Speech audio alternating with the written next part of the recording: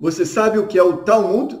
Talmud é uma parte da Torá oral, foi entregue a Moisés no Monte Sinai, e ele é basicamente focado e voltado para a comunidade judaica.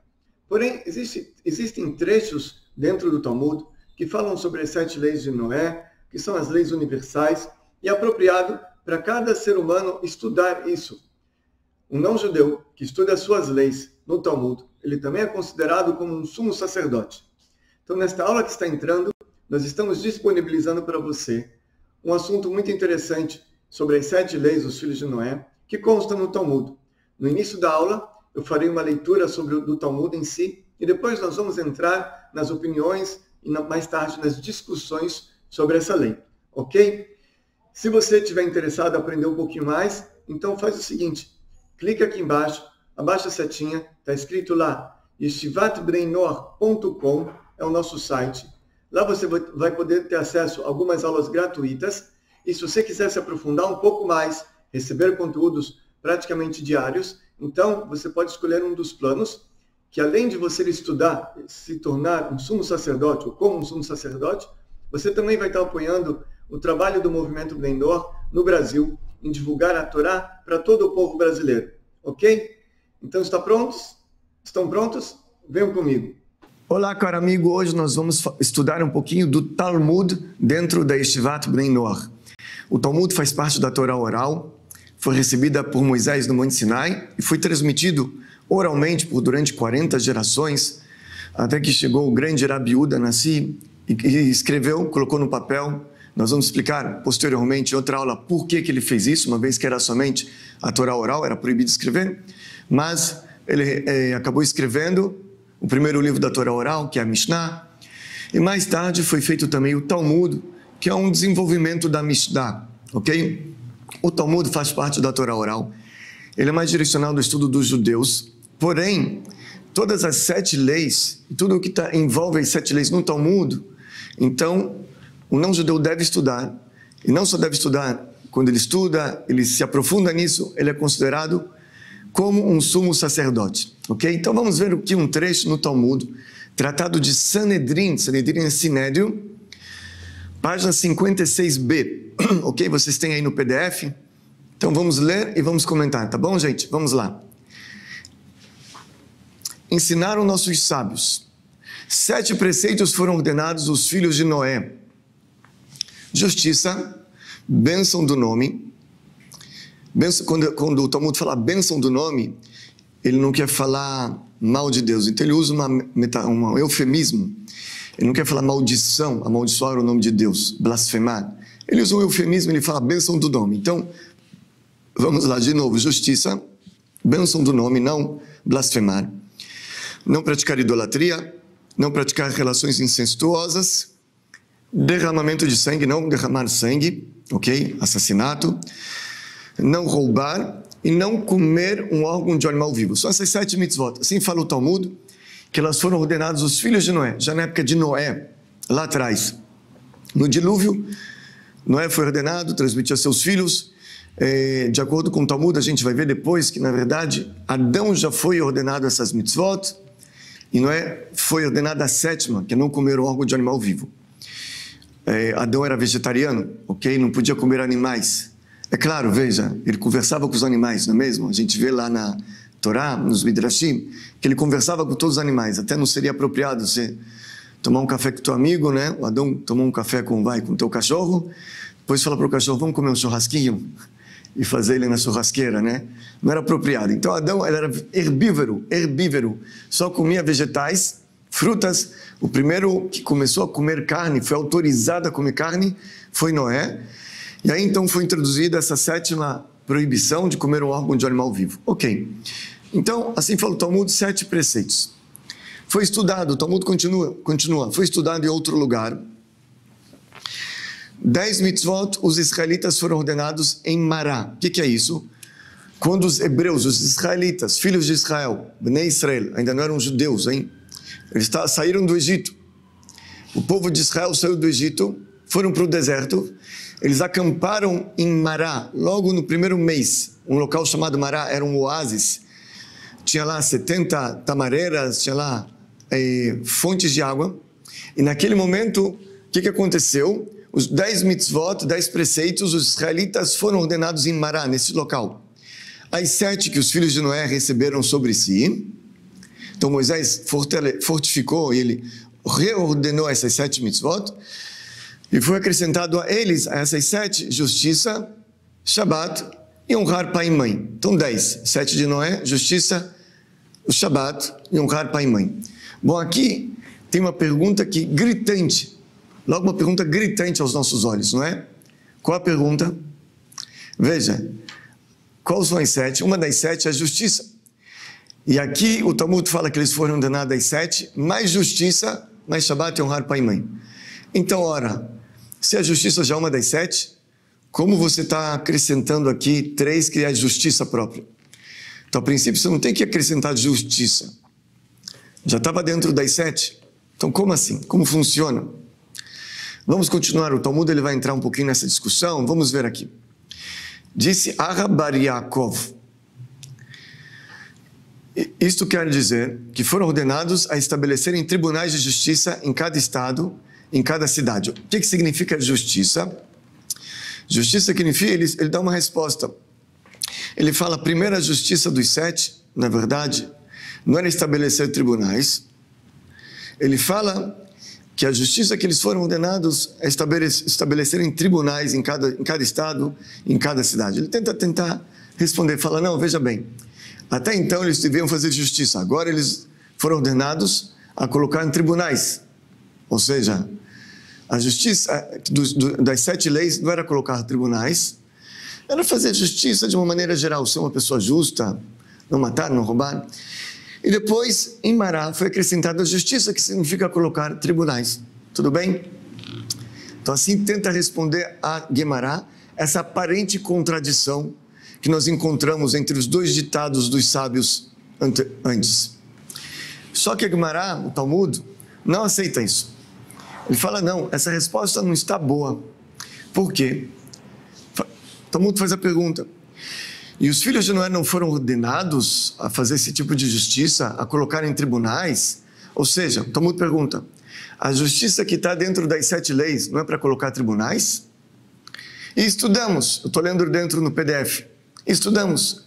Assim como os israelitas foram ordenados a colocar tribunais de justiça em cada cidade, Assim também os filhos de Noé foram ordenados a estabelecer tribunais de justiça em todo estado em toda cidade. Ou seja, o Talmud ele fala que assim como os judeus foram ordenados a colocar tribunais de justiça em todas as cidades, está escrito na Torá, Shoftim veshotrim titen lecha bechol sharecha, juízes e guardas colocarás em todos os seus portões, todas as suas cidades. Da mesma maneira, os filhos de Noé também, os filhos de Noé também foram ordenados a colocar é, tribunais. Então, no final das contas, faz parte das sete leis colocar tribunais em cada cidade. Então, essa resposta que eu tentei dar antes, explicar que são dois tipos de justiça, da mitzvah de justiça, ou seja, que dentro das sete leis é somente fazer a justiça. E em Mará, os judeus foram acrescentados, Moisés deu para os israelitas também, a mitzvah de colocar tribunais em cada cidade. Essa resposta não é boa. Porque dentro das sete leis também se encontra colocar juiz e tribunais em cada cidade. Então, nós não entendemos, ficou a pergunta, né, nessa segunda frase, que como assim dez mitzvot foram ordenados, sete leis dos filhos de Noé e mais justiça. Não dá para entender. Então aí vem a resposta do Talmud. O Talmud ele faz uma, ele dá uma resposta, ele explica o seguinte: esta beraita, ou seja, esse primeiro estudo, ou melhor, essa segunda frase que você, vocês têm na apostila, no PDF, que dez mitzvot foram os israelitas ordenados, mais as sete leis de Noé, mais a justiça. Quem que disse isso? Então ele explica, é de acordo com Tana da casa de Menashe, que exclui dar e inclui sa. Deixa eu explicar. Quando nós, o que é o Talmud, gente? O que é o Talmud? Como eu expliquei para vocês no início da aula, foram ensinados muita coisa oralmente, que não foi colocado no papel. Depois de 40 gerações, Rabilda Nassili sentiu que o povo tinha ido para o exílio, o templo foi destruído, as perseguições contra os judeus eram muitas, eles não conseguiam estudar direito a Torá, como, como estudavam antes. Antes eles ficavam o dia inteiro numa uma yeshiva, somente estudando a Torá, o tempo inteiro. Então eles discutiam, debatiam. Depois dessas, dessas 40 gerações, os judeus foram para o exílio. Rabiuda teve medo que fosse perdido a Torá oral do povo judeu, que fosse esquecida. Eles não tinham mais a, a condição de estudar como estudavam antes, ok? Então, o é, que, que ele fez? Ele colocou no papel. Ele contratou os maiores sábios da geração, colocou, ele na, colocou eles na sinagoga a vida inteira e eles estudavam, debatiam, baseado nas regras que Deus deu para Moisés para que fossem estudadas a Torá. Essas regras fazem parte da Torá oral. Então, eles estudam isso, chegam a conclusões e, é, é, ou seja, essas conclusões baseadas nas regras que foram entregues, entregues para eles estudarem, e essas conclusões fazem parte da Mishnah ou do Talmud, que é a Torá oral. Então, quem disse esse trecho, pergunta o Talmud, que foram entregues sete leis mais a justiça? Ele fala, isso foi o pessoal da Yeshiva da casa de Menashe, aquele estivá do Menashe, eles chegaram a essa conclusão. Mas eles têm uma outra linha de pensamento. Eles excluem dar, incluem sar. O que, que é excluem dar? Eles, quando eles, eles uh, contam as sete leis, eles tiram dar, eles tiram dar, é daf, é, é, dalet raf, dalet dinim, que é justiça, rav de birkat Hashem, a bênção, de, o blasfêmio, eles, quando falam, a casa do, do Menashe, quando eles colocam as sete leis, eles tiram justiça, eles tiram dinim, eles tiram, desculpa, justiça e a bênção, de, a bênção do nome de Deus, a blasfêmia. Eles falam que essas duas não estão dentro das sete leis dos filhos de Noé. Eles incluem outras duas, que é sar, que é cirus, castrar, não poder castrar um animal, e kilain, que é, por exemplo, você é, enxerto, enxertar uma árvore, ok? Ou enxer, fazer enxertos de animais, mudar um pouquinho a natureza da criação. É, cruzar, é, ele, ele, inclui, é, ou seja, Kilain é o cruzamento de jume, é, cavalo com, com burro, que nasce um jumento, por exemplo. Eles proíbem esse tipo de prática. Na verdade, tudo é proibido, a lei, o veredito fica com é, a casa do, não com a casa do Menashe, não com a Yeshiva de Menashe. As sete leis é como o Talmud fala antes e como nós hoje em dia prosseguimos. Porém, é proibido também para o filho de Noé fazer enxertos, ok? Enxertar animais, cruzar animais de diferentes espécies e também árvores ou plantas de diferentes espécies. Também não pode enxertar uma um limoeiro, uma semente de limão dentro de uma, uma muda de limão dentro da laranjeira. É proibido para um menor, para um filho de Noé, fazer isso, ok? É proibido enxertos. Também cruzar animais de diferentes espécies é proibido também para o filho de Noé fazer. Porém, ela não foi considerada, considerada dentro das sete leis, no final. E a conclusão é que as sete leis incluem a justiça social, a justiça de uma maneira geral também. Ok, muito bem. E vamos ver o Maimônides realmente na Leis de Reis, capítulo 8, versículo 14. Então. Então vamos ver Maimônides na Lei de Reis, versículo, é, capítulo 8, versículo 14. Ele realmente ele define o que, que é a justiça. Ele traz o seguinte: como é a mitzvah de justiça entre as sete mitzvot dos filhos de Noé?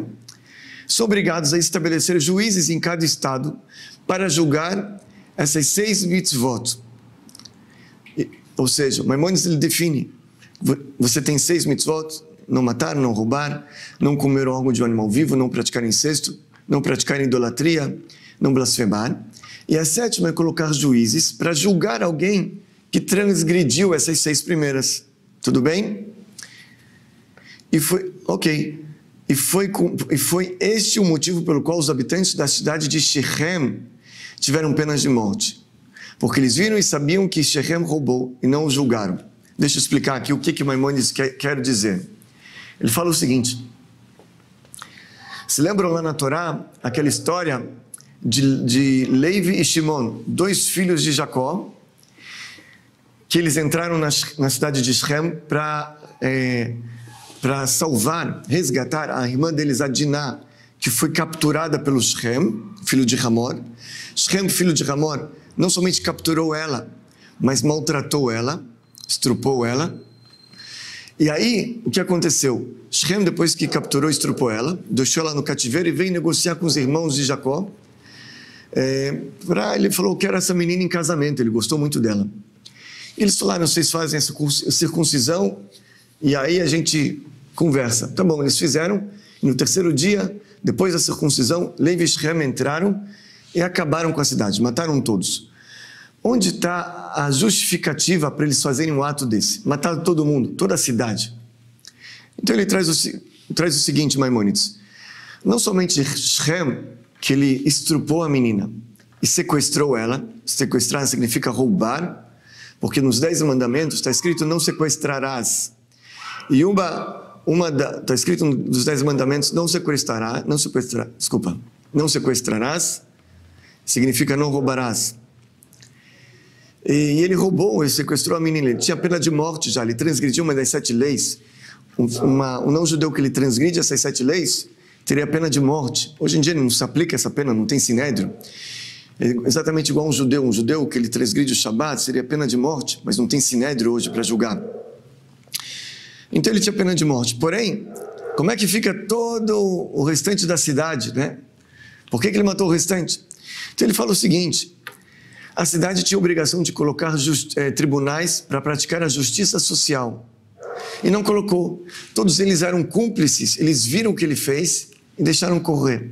Então eles foram cúmplices, eles não colocaram aqui os juízes, não cumpriram a, sete lei, a, sete, a sétima lei, e é por isso que eles tinham pena de morte. Não julgaram, transgrediram a sétima lei. Ok, assim fala Maimônides. Só que é um pouquinho estranho Narmânides não concorda com isso. Agora a gente vai se aprofundar. O Narmânides, ele fala, a resposta do mestre Maimônides não é apropriada aos meus olhos. Agora vai começar, gente, a discussão aqui. Narmânides, Maimônides, por que, que realmente ele matou toda aquela cidade, todo aquele povo ali, por que, que ele matou? Ele fala que não, não deveria matar. Ou se ele matou, aliás, ele fala que deveria matar sim, mas tem um motivo pelo qual ele deveria matar. E vamos ver aqui. A resposta do mestre Maimônides não é apropriada aos meus olhos. Pois se eles fizeram de acordo com a lei, Jacó deveria ser o primeiro a tomar a iniciativa de matar os habitantes. Veja bem, se eles fizeram algo correto, como falou nosso mestre Maimônides, por que, que Jacó não correu para matar? Jacó deveria ser o primeiro a matar todo mundo, se é de acordo com a lei. E Jacó não fez isso.